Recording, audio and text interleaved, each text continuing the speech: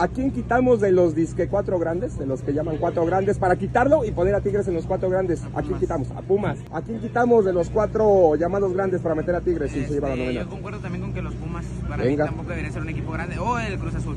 los dos. Yo creo que debería salir ya de plano el Cruz Azul.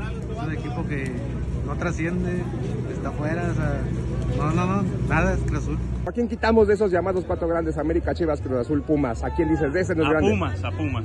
La razón. Pues les ganamos ahorita y hace mucho ya no ganan. Yo diría que el Cruz Azul, ya que no se ha visto mucho de ese equipo en estos últimos años. ¿A quién quitamos de los cuatro grandes para ya poner a Tigres? Yo creo Por que Pumas. Pumas. Pumas. ¿Alguna razón? Pues yo creo que ya no tiene un cuadro base desde hace tiempo, entonces este, ya se ha perdido un poquito la esencia de eso y pues los Tigres ahí han- traen la racha.